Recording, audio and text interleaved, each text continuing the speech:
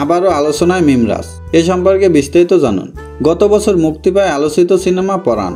এতে জুটি বাঁধেন শরীফুর রাজ ও বিদ্যাসিংহা মিম।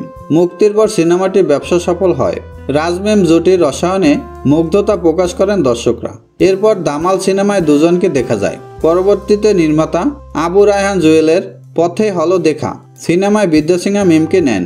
এতে মিমের বিপরীতে শরীফুল রাজের অভিনয় করার কথা ছিল। ওই সময় রাজের প্রাক্তন স্ত্রী পরিমণি ফেসবুক স্ট্যাটাসে লিখেছিলেন, মিম নিজের জামাইকে নিয়ে সন্তুষ্ট থাকা উচিত ছিল। এরপর মিম জানান, আপাতত রাজের বিপরীতে অভিনয় করছেন না তিনি।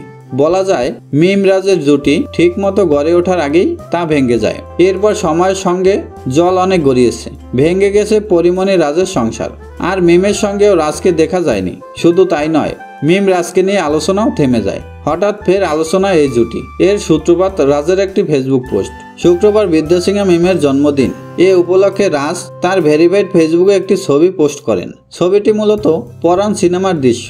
এ ছবির ক্যাপশনে রাজ লিখেছিলেন, তোমাকে জন্মদিনের শুভেচ্ছা জানাচ্ছি এবং সামনের বছরটি সুন্দর হোক।